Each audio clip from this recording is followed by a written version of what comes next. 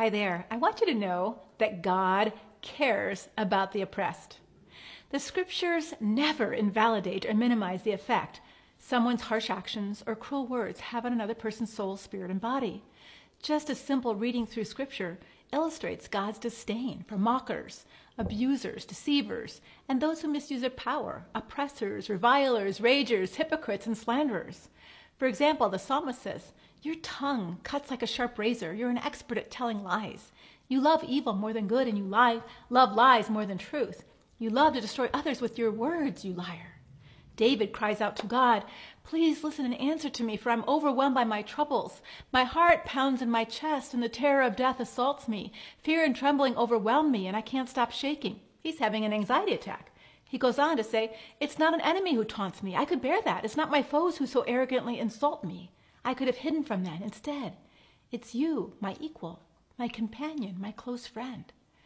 Sadly, I think as Christians, we've failed to validate the destructive consequences of living with a foolish, argumentative, angry, deceitful, contentious, indifferent, hard hearted, or evil person when the scriptures are quite clear. The effects are real. The psalmist says in Psalm 69:20, Their insults have broken my heart, and I am in despair. I wonder as Christians if sometimes we haven't valued honesty as much as we preach it. When a woman or man goes to their church leadership and discloses what's going on at home, he or she hopes to be supported and validated. For some, for some individuals, that's just not been their experience. Instead, he's been scolded and shamed or shunned, or she's been told, You got to bring your husband in for his side of the story. Don't gossip about him. But how can a person speak honestly with a spouse present if they're afraid of what's going to happen when they get home? She's been told she needs to be more submissive, try harder to make things work. He's been told that there's nothing in the Bible called emotional abuse, and therefore what he's experiencing has no validity.